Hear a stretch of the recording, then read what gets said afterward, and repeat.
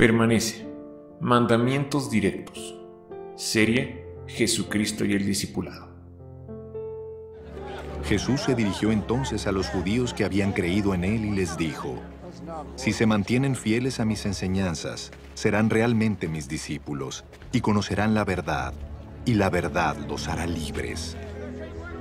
Nosotros somos descendientes de Abraham, le contestaron, y nunca hemos sido esclavos de nadie.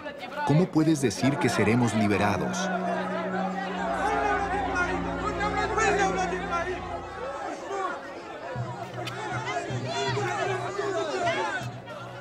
Ciertamente les aseguro que todo el que peca es esclavo del pecado, respondió Jesús. Permanecer en Jesús es la clave para llegar a ser verdaderos discípulos de Jesús. Él dijo a los judíos que habían creído en Él, si permanecían en su palabra, serían verdaderamente sus discípulos, y que conocerían la verdad, y que la verdad los haría libres. Dijo eso porque ellos, aunque creían en Él, como muchos cristianos hoy, no estaban permaneciendo en su palabra, y por esa razón, aunque se dijeran discípulos de Él, eran falsos discípulos, pues al no conocer la verdad, eran esclavos del pecado. Eso se lo dijo a muchos discípulos, que tan solo unos días antes habían vuelto atrás y ya no andaban con él. Esos judíos se ofendieron y a pesar de ser creyentes en Jesús, momentos después querían apedrearlo y matarlo. Lo mismo nos puede suceder a nosotros. No es suficiente creer en Jesús. Ser creyentes no nos hace discípulos. Para ser verdaderos discípulos tenemos que aprender a permanecer en Jesús por medio de guardar sus mandamientos, la mayoría de los cuales tienen que ver con permanecer en Él. Siempre mantengamos en mente que todos los mandamientos de Jesucristo se pueden clasificar en tres grandes grupos. Ven, permanece, ve. Repasemos los cinco mandamientos contenidos en el primer grupo, ven. Todas las cosas que Jesús mandó guardar a sus discípulos. Jesús se acercó entonces a ellos y les dijo, se me ha dado toda autoridad en el cielo y en la tierra. Por tanto, vayan y hagan discípulos de todas las naciones, bautizándolos en el nombre del Padre y del Hijo y del Espíritu Santo, enseñándoles a obedecer todo lo que les he mandado a ustedes. Y les aseguro que estaré con ustedes siempre, hasta el fin del mundo. Jesús explícitamente mandó a los once que enseñasen a los nuevos discípulos a guardar todas las cosas que Él les había mandado a ellos. Ide y haced discípulos a todas las naciones. Bautizándolos en el nombre del Padre, del Hijo y del Espíritu Santo. Enseñándoles que guarden todas las cosas que les he mandado. ¿Cuántas cosas mandó guardar Jesús a sus discípulos? ¿Cuántos mandamientos dio, pues, Jesús a sus discípulos? Si ustedes me aman, obedecerán mis mandamientos. ¿Quién es el que me ama? El que hace suyos mis mandamientos y los obedece. Y al que me ama, mi Padre lo amará, y yo también lo amaré y me manifestaré a él. Jesús claramente dijo, el que tiene mis mandamientos y los guarda. Ese es el que me ama. Si analizamos a fondo los cuatro evangelios, descubrimos que Jesús dio 260 mandamientos a sus discípulos. Todos los mandamientos que Jesús mandó guardar a sus discípulos se pueden clasificar en tres grandes grupos. Ven. Permanece. Ve. Ven, cinco mandamientos. Permanece, 225 mandamientos. Ve, 30 mandamientos. Mandamientos del primer grupo. Ven. Jesús se volvió y al ver que lo seguían les preguntó, ¿qué buscan? Rabí, ¿dónde te hospedas? Rabí significa maestro. Vengan a ver, les contestó Jesús. Ellos fueron pues y vieron dónde se hospedaba, y aquel mismo día se quedaron con él. Eran como las cuatro de la tarde. Vengan a desayunar, les dijo Jesús. Ninguno de los discípulos se atrevía a preguntarle, ¿quién eres tú? Porque sabían que era el Señor. En el último día, el más solemne de la fiesta, Jesús se puso de pie y exclamó, Si alguno tiene sed, que venga a mí y beba. Vengan conmigo ustedes solos a un lugar apartado y descansen un poco. Y es que tanta gente iba y venía que ellos no tenían tiempo ni para comer. Señor, si eres tú, respondió Pedro, mándame que vaya a ti sobre el agua. Ven, dijo Jesús. Pedro bajó de la barca y caminó sobre el agua en dirección a Jesús. De los 255 mandamientos que dio Jesús, más de 220 están relacionados con permanecer y se pueden clasificar en Primero, mandamientos directos. Segundo, mandamientos circunstanciales. Tercero, mandamientos condicionales. Cuarto, mandamientos con promesa. Quinto, mandamientos prohibitivos. Los nos de Jesús. En esta lección analizaremos los mandamientos directos. Primera de Juan 5.3.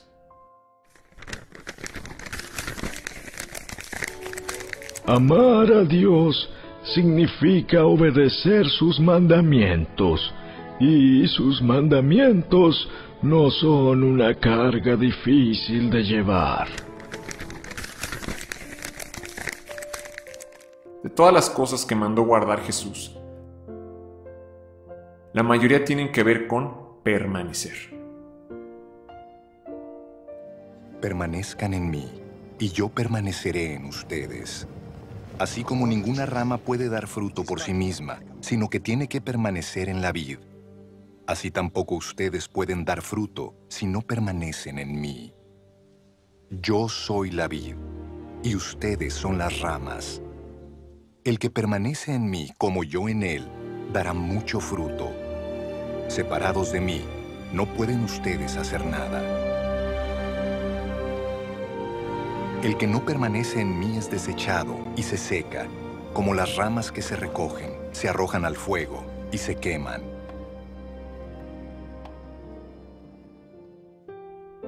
Los mandamientos directos de Jesús son muy claros, sencillos y comprensibles.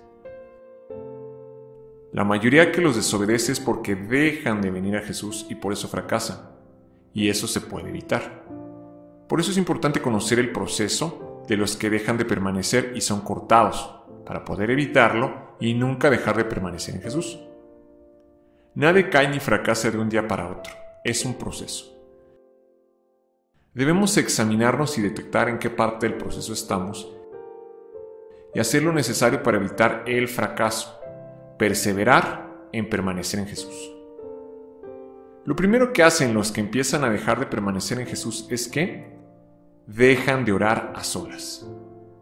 Mateo 6:6 Pero tú, cuando te pongas a orar, entra en tu cuarto, cierra la puerta y ora a tu Padre que está en lo secreto. Así tu Padre que ve lo que se hace en secreto, te recompensará.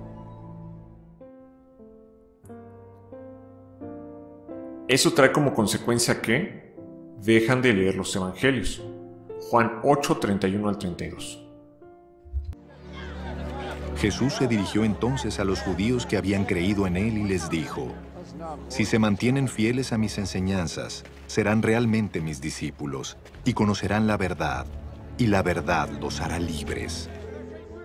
¿Por qué es de suprema importancia orar a solas y no dejar de leer los evangelios? Es de suprema importancia no dejar de leer los evangelios nunca y orar a solas, porque es la única manera de poder mantener nuestro primer amor. Jesús dijo, cuando ores, entra en tu aposento y cerrada la puerta, ora a tu Padre que está en secreto y tu Padre que ve en lo secreto te recompensará en público. Lo he dicho y lo seguiré diciendo, y mientras vive y no se me truena un tornillo, lo voy a repetir. Lo más importante en la vida cristiana es la oración en privado, a solas, como mandó Jesús. Si hay que orar en público, si hay que orar con otros hermanos, si hay que orar en la, en la iglesia, si hay que orar con otros, hay que hacer grupos de oración, sí, pero no hay sustituto para la oración a solas. Jesús nos dejó el ejemplo magno. Todos los días se apartaba solo, solo a orar, porque de allí es de donde obtenemos el poder espiritual. Pero tan importante como eso es la palabra de Cristo, porque Jesús dijo, si permanecen en mi palabra, serán verdaderamente mis discípulos y conocerán y la verdad los hará libres. Conocerán la verdad y la verdad los hará libres. Porque a veces podemos orar mucho y estar bien conectados con Dios, pero si no estamos establecidos, fundamentados en la roca, en la verdad, en la palabra, nos podemos desviar, porque el que no persevera en la doctrina de Cristo no tiene a Dios, no tiene al Padre ni al Hijo, pero el que persevera en la doctrina de Cristo, ese sí tiene al Padre y tiene al Hijo. Entonces, para ser verdaderos discípulos de Cristo, hay que perseverar en las enseñanzas de Cristo, el que tiene sus mandamientos y los guarda, ese es el que lo ama. Si de verdad amamos a Cristo, tenemos que tomar muy en serio los mandamientos de Cristo y guardarlos y ponerlos por obra. De allí la importancia suprema, radical, de orar a solas y de perseverar, de nunca dejar de leer los evangelios. El tercer paso que se produce como resultado de los dos primeros es que dejan de desear la palabra de Dios. Primera de Pedro 2.1.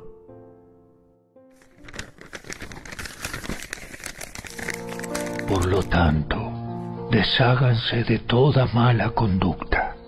Acaben con todo engaño, hipocresía, celos y toda clase de comentarios hirientes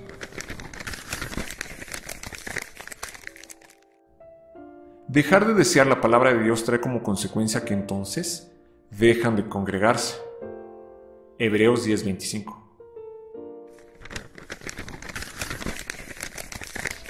Y no dejemos de congregarnos como lo hacen algunos, sino animémonos unos a otros, sobre todo ahora que el día de su regreso se acerca.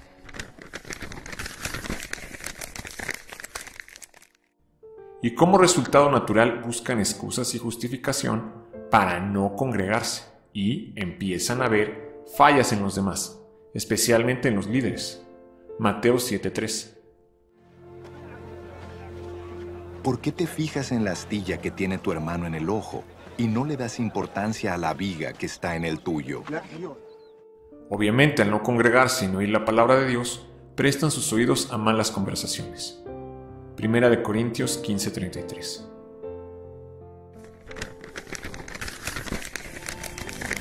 No se dejen engañar por los que dicen semejantes cosas, porque las malas compañías corrompen el buen carácter.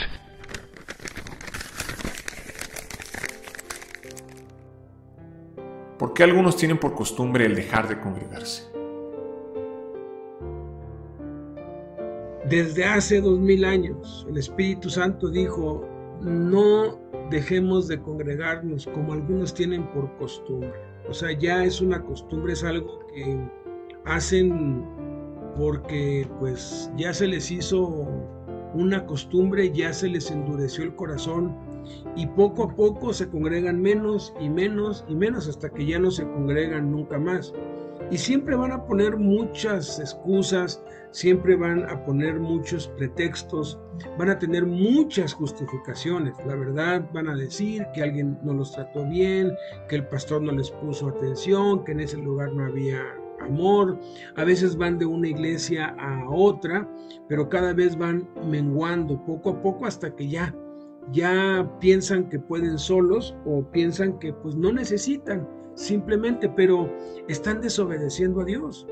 Están poniéndose en un peligro terrible porque su corazón se les va a endurecer.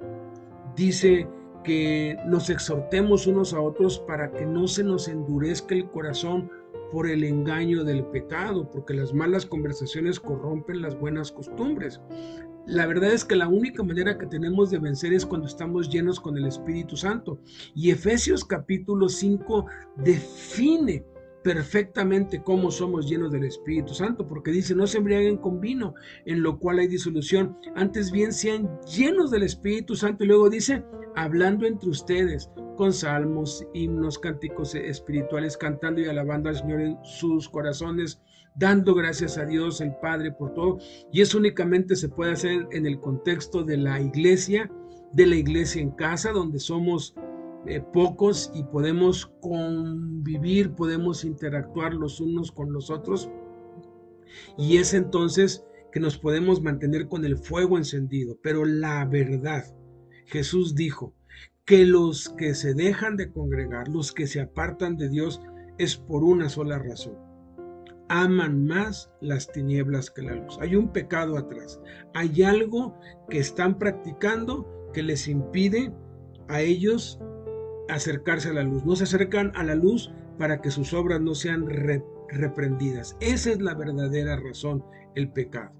Y naturalmente al ser corrompidos en las buenas costumbres que tenían, se les endurece el corazón y se apartan de Dios. Hebreos 3, 12 al 13.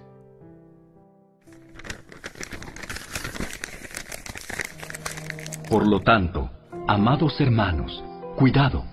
Asegúrense de que ninguno de ustedes tenga un corazón maligno e incrédulo que los aleje del Dios vivo. Adviértanse unos a otros todos los días mientras dure ese hoy para que ninguno sea engañado por el pecado y se endurezca contra Dios.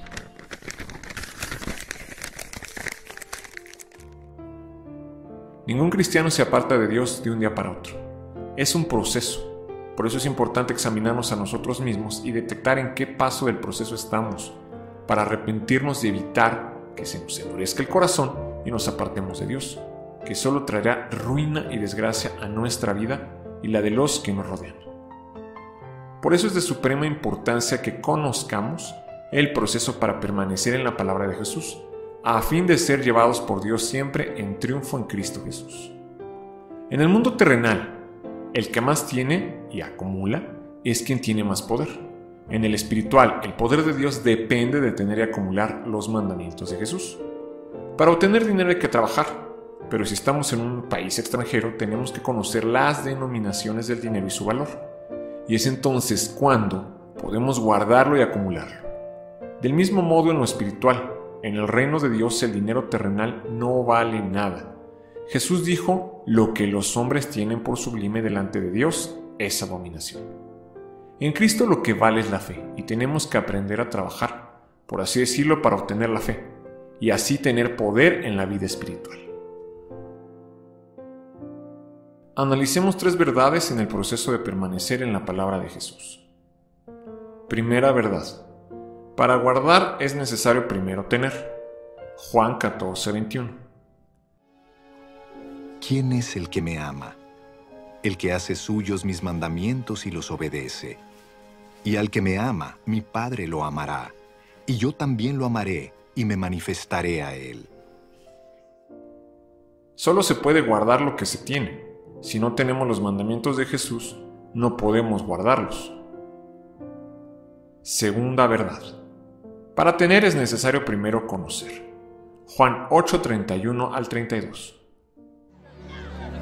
Jesús se dirigió entonces a los judíos que habían creído en Él y les dijo, Si se mantienen fieles a mis enseñanzas, serán realmente mis discípulos y conocerán la verdad, y la verdad los hará libres. Solo se puede tener lo que se conoce. Si no conocemos los mandamientos de Jesús, no podemos tenerlos. Tercera verdad. Para conocer es necesario primero oír y leer. Apocalipsis 1.3.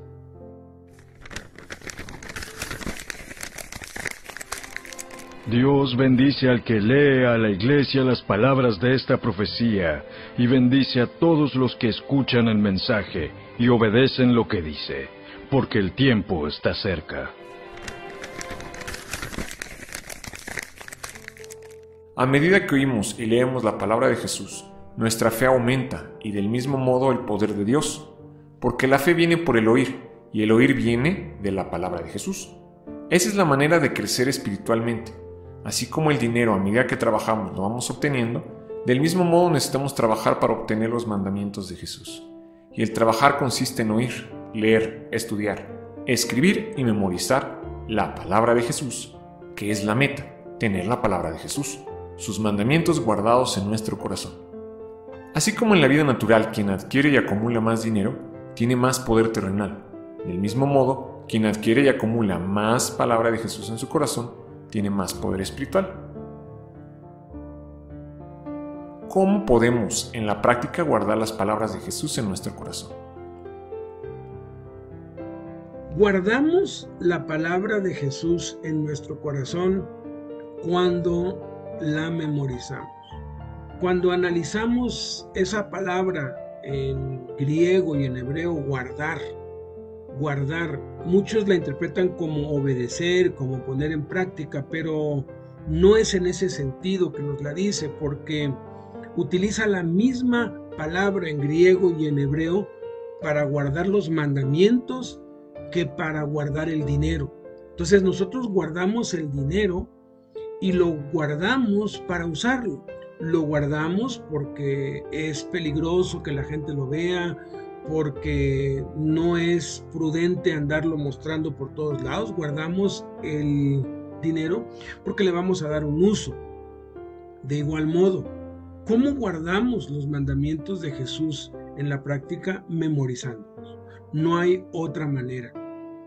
Necesitamos memorizarlos, necesitamos aprenderlos, necesitamos leerlos y leerlos y leerlos. Hay tres claves, tres secretos, tres principios importantísimos para memorizar. Apréndaselos. El primero es repetir. El segundo es repetir.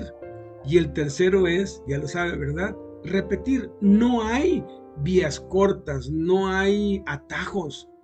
No hay otra más que repetir y repetir y repetir. Hay muchos métodos de memorización, muchos, pero todos giran alrededor de repetir y repetir y repetir y repetir. Yo tengo varios, yo he explorado muchos y uno de los más efectivos es el de la memorización mnemotécnica, en donde uno escribe la primera letra de cada, de cada palabra.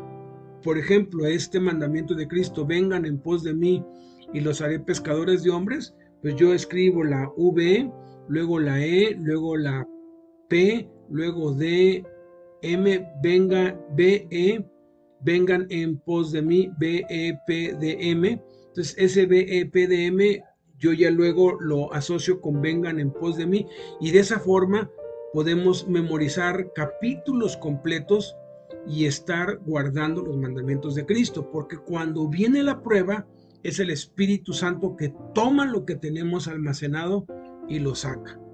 Y de esa forma es como nos podemos mantener en victoria. Veamos ahora cuatro maravillosos resultados de permanecer guardando sus mandamientos. Primer resultado, llevar mucho fruto. Juan 15:5.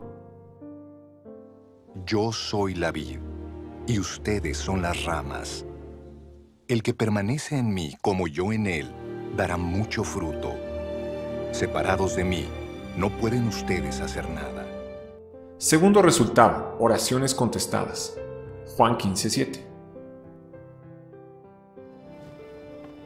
Si permanecen en mí y mis palabras permanecen en ustedes, pidan lo que quieran y se les concederá. Tercer resultado, permanecer en el amor de Jesús. Juan 15:10.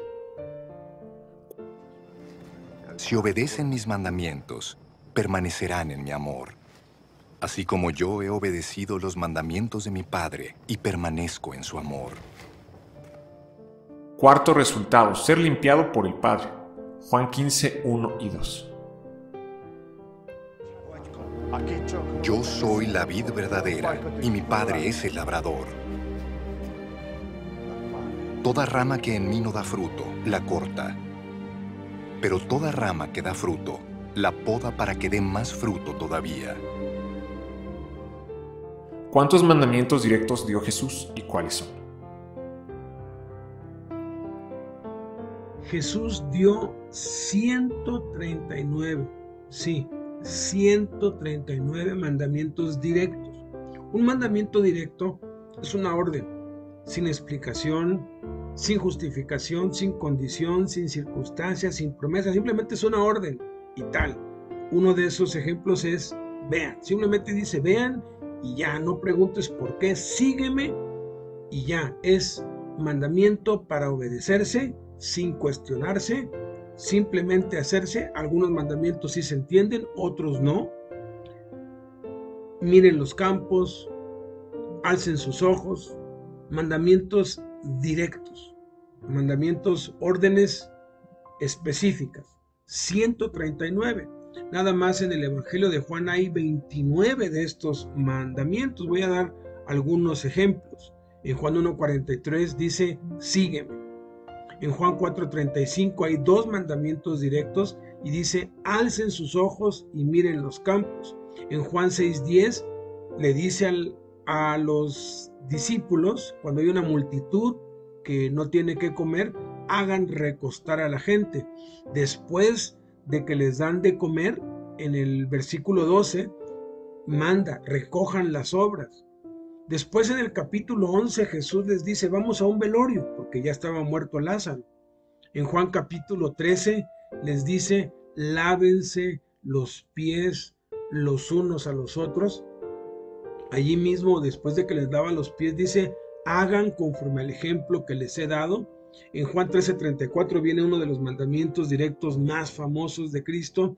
Ámense unos a otros como yo los he amado. En Juan capítulo 14 nos da cinco mandamientos, eh, cuatro, perdón, cuatro mandamientos directos. Crean en mí así como creen en Dios. Créanme que yo soy en el Padre y que el Padre es en mí. Créanme por las mismas obras que hago. Guarden mis mandamientos. En el capítulo 15 nos da otros cinco mandamientos. Sepan que el mundo me aborreció a mí primero. Acuérdense de que les dije, el siervo no es mayor que su Señor. Permanezca yo en ustedes, permanezcan en mí, permanezcan en mi amor. Pidan al Padre mi nombre y así podríamos continuar mandamiento tras mandamiento y vamos a verlo en el siguiente video. Vienen los 139 mandamientos directos en orden cronológico y de verdad es maravilloso conocerlos, pero sobre todo guardarlos, tenerlos en el corazón. Mandamientos del segundo grupo. Permanece. Al día siguiente Jesús decidió salir hacia Galilea. Se encontró con Felipe y lo llamó. Sígueme. ¿No dicen ustedes, todavía faltan cuatro meses para la cosecha? Yo les digo, abran los ojos y miren los campos sembrados.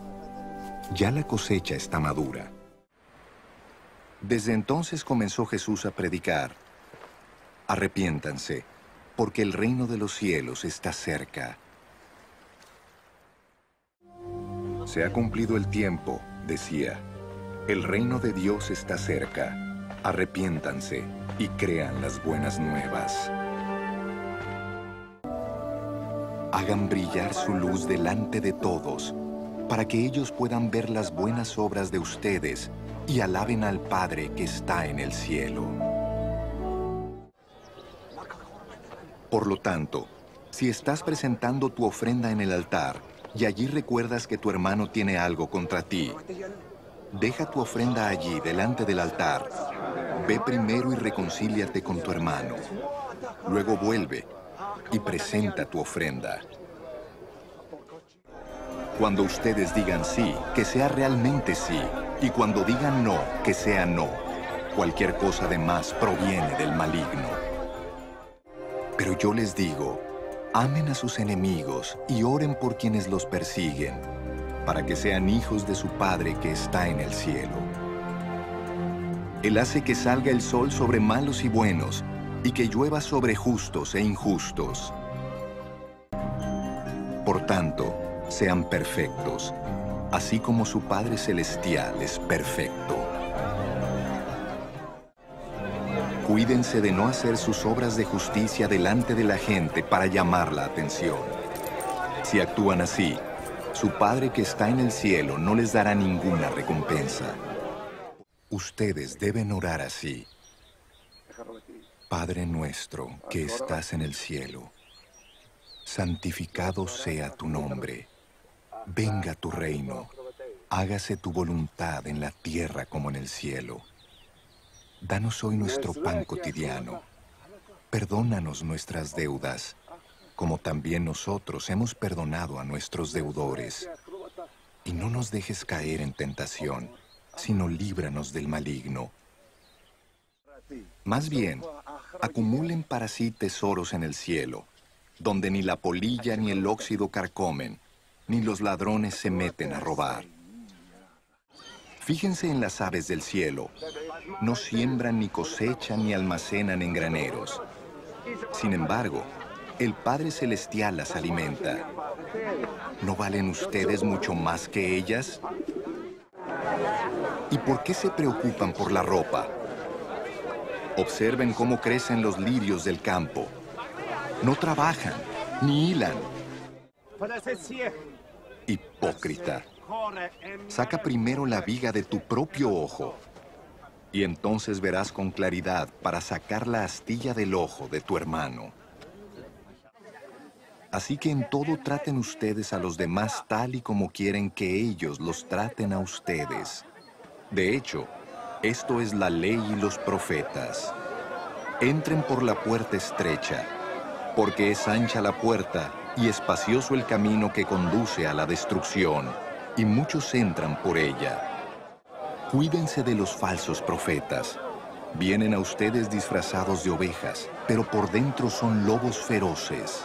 Sígueme, le replicó Jesús, y deja que los muertos entierren a sus muertos. Cuando acabó de hablar, le dijo a Simón, Lleva la barca hacia aguas más profundas y echen allí las redes para pescar. Ese mismo día, al caer la noche, Jesús les dijo a sus discípulos, pasemos al otro lado. Bendigan a quienes los maldicen, oren por quienes los maltratan. Ustedes, por el contrario, amen a sus enemigos, háganles bien y denles prestado sin esperar nada a cambio. Así tendrán una gran recompensa y serán hijos del Altísimo porque Él es bondadoso con los ingratos y malvados. Sean compasivos, así como su Padre es compasivo. No juzguen, y no se les juzgará. No condenen, y no se les condenará. Perdonen, y se les perdonará. Sin embargo, no se alegren de que puedan someter a los espíritus, sino alégrense de que sus nombres están escritos en el cielo. Esfuércense por entrar por la puerta estrecha, contestó, porque les digo que muchos tratarán de entrar y no podrán.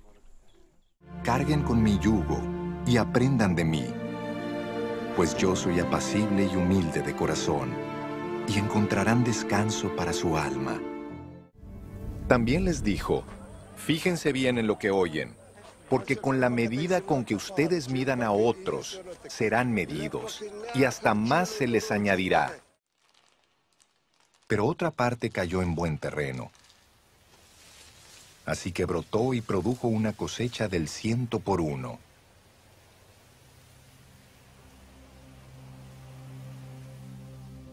Dicho esto, exclamó, el que tenga oídos para oír, que oiga. Por lo tanto, pongan mucha atención. Al que tiene, se le dará más. Al que no tiene, hasta lo que cree tener se le quitará.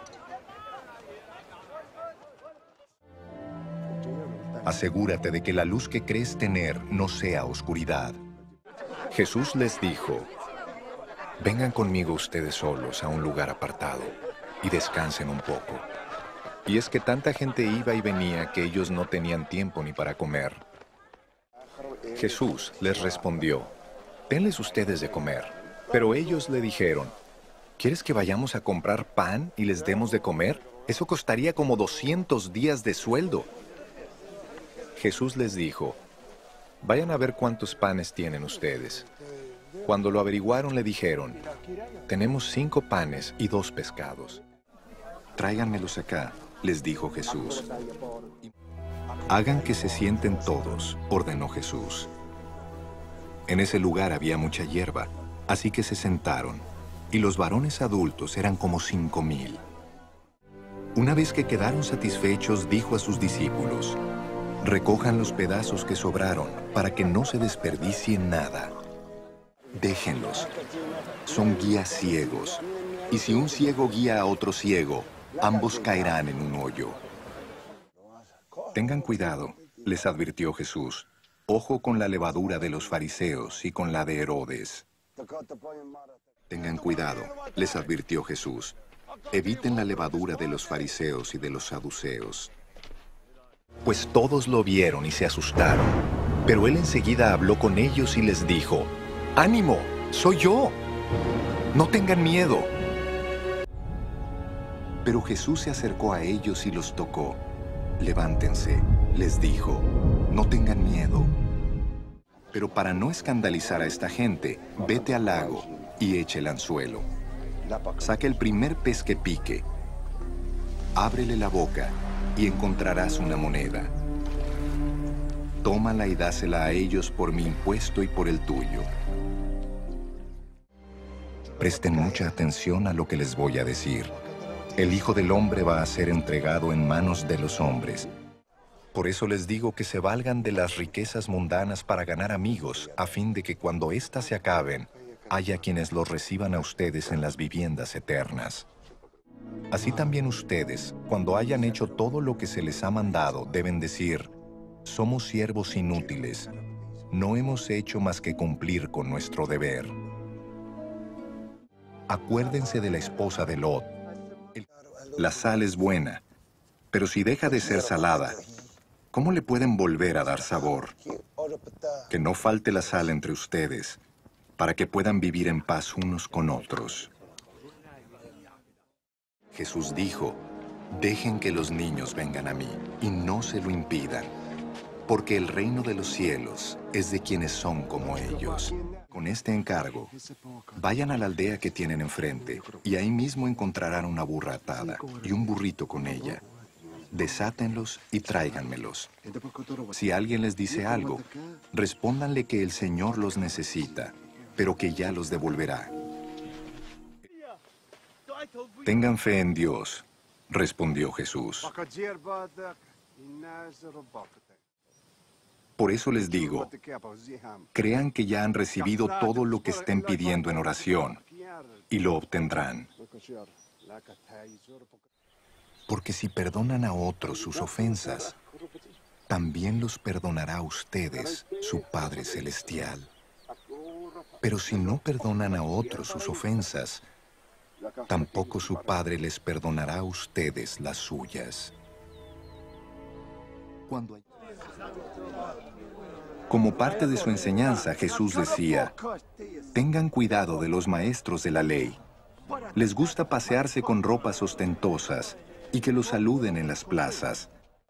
Así que ustedes deben obedecerlos y hacer todo lo que les digan. Pero no hagan lo que hacen ellos, porque no practican lo que predican. Tengan cuidado, advirtió a la gente. Absténganse de toda avaricia la vida de una persona no depende de la abundancia de sus bienes. Fíjense en los cuervos. No siembran ni cosechan, ni tienen almacén ni granero. Sin embargo, Dios los alimenta. ¿Cuánto más valen ustedes que las aves? Vendan sus bienes y den a los pobres. Provéanse de bolsas que no se desgasten. Acumulen un tesoro inagotable en el cielo, donde no hay ladrón que aceche ni polilla que destruya. Manténganse listos con la ropa bien ajustada y la luz encendida. Pórtense como siervos que esperan a que regrese su señor de un banquete de bodas, para abrirle la puerta tan pronto como él llegue y toque. Cuando alguien te invite a una fiesta de bodas, no te sientes en el lugar de honor, no sea que haya algún invitado más distinguido que tú. Si es así, el que los invitó a los dos vendrá y te dirá, cédele tu asiento a este hombre. Entonces, avergonzado, tendrás que ocupar el último asiento. Más bien cuando te inviten, siéntate en el último lugar, para que cuando venga el que te invitó te diga, amigo, pasa más adelante a un lugar mejor. Así recibirás honor en presencia de todos los demás invitados. Tengan cuidado de que nadie los engañe, les advirtió Jesús. Oren para que su huida no suceda en invierno ni en sábado. Oren para que esto no suceda en invierno. Aprendan de la higuera esta lección. Tan pronto como se ponen tiernas sus ramas y brotan sus hojas, ustedes saben que el verano está cerca. Por lo tanto, manténganse despiertos, porque no saben qué día vendrá su Señor. Por eso también ustedes deben estar preparados, porque el Hijo del Hombre vendrá cuando menos lo esperen. Pero ustedes cuídense. Los entregarán a los tribunales y los azotarán en las sinagogas. Por mi causa comparecerán ante gobernadores y reyes para dar testimonio ante ellos. Jesús les contó a sus discípulos una parábola para mostrarles que debían orar siempre, sin desanimarse. Estén alerta, vigilen, porque ustedes no saben cuándo llegará ese momento. Estén siempre vigilantes y oren para que puedan escapar de todo lo que está por suceder y presentarse delante del Hijo del Hombre. Por eso les dijo claramente, Lázaro ha muerto, y por causa de ustedes me alegro de no haber estado allí, para que crean. Pero vamos a verlo. Jesús envió a Pedro y a Juan diciéndoles, vayan a hacer los preparativos para que comamos la Pascua. Mientras comían, Jesús tomó pan y lo bendijo.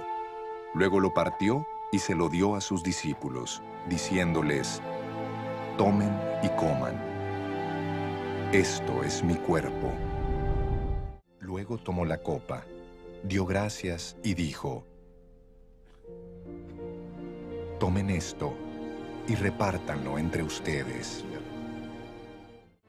Después tomó la copa, dio gracias y se la ofreció diciéndoles, beban de ella todos ustedes.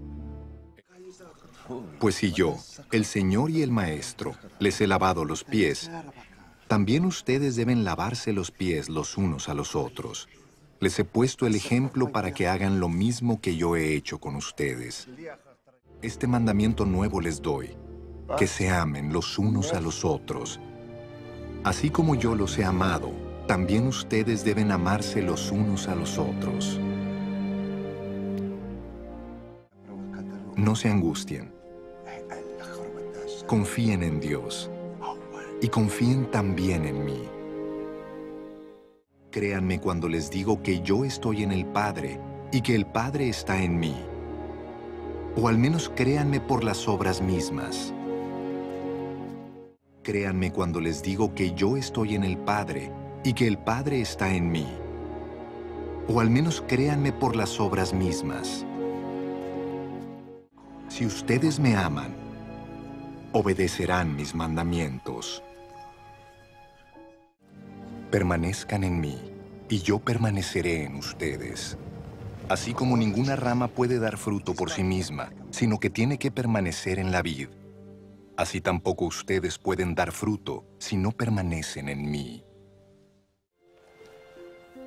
Así como el Padre me ha amado a mí, también yo los he amado a ustedes permanezcan en mi amor. Si el mundo los aborrece, tengan presente que antes que a ustedes, me aborreció a mí. Recuerden lo que les dije. Ningún siervo es más que su amo. Si a mí me han perseguido, también a ustedes los perseguirán. Si han obedecido mis enseñanzas, también obedecerán las de ustedes. En aquel día ya no me preguntarán nada. Ciertamente les aseguro que mi Padre les dará todo lo que le pidan en mi nombre. Hasta ahora no han pedido nada en mi nombre.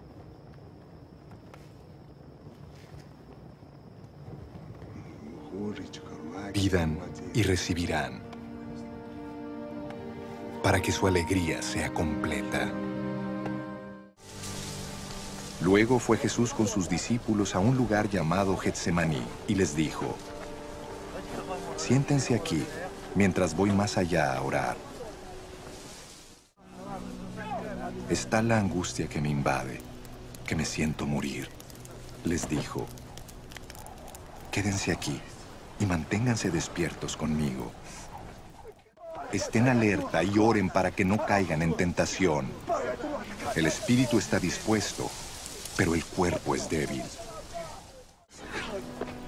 Volvió de nuevo a los discípulos y les dijo, ¿siguen durmiendo y descansando?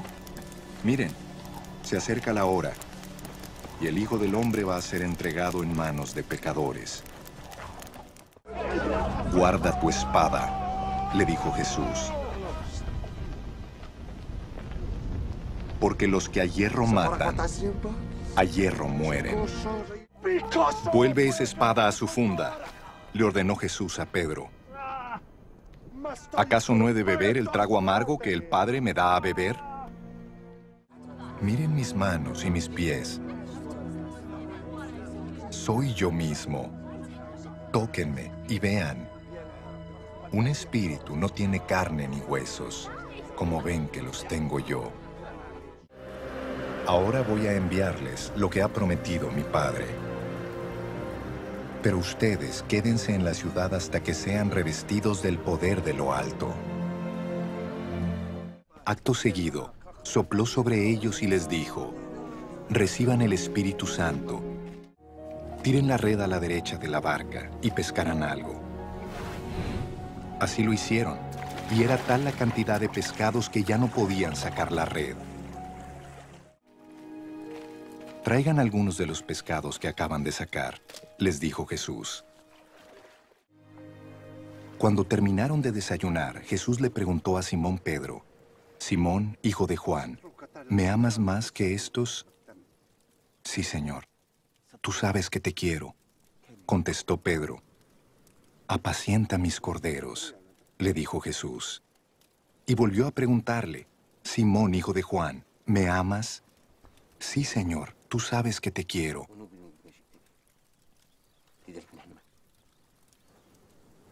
Cuida de mis ovejas. Les dijo, vayan por todo el mundo y anuncien las buenas nuevas a toda criatura. Por tanto, vayan y hagan discípulos de todas las naciones, bautizándolos en el nombre del Padre y del Hijo y del Espíritu Santo, enseñándoles a obedecer todo lo que les he mandado a ustedes. Y les aseguro que estaré con ustedes siempre, hasta el fin del mundo. La experiencia de la mayoría de los cristianos es esta. Empiezan el camino con mucho entusiasmo, energía y gozo, pero a medida que pasa el tiempo se van enfriando. Dejan de dar fruto, sus oraciones pierden poder. El amor de Jesús ya no se manifiesta en ellos, se estancan y muchos se conforman con el ritualismo y algunos terminan apartándose de Jesús. La razón, dejaron de permanecer en Jesús. La mayoría de las veces porque ignoraron sus mandamientos o no les enseñaron a guardarlos. De ahí la necesidad de conocer los mandamientos de Jesucristo, de memorizarlos para llegar a tenerlos y entonces permanecer en Jesús, para vivir la vida en abundancia.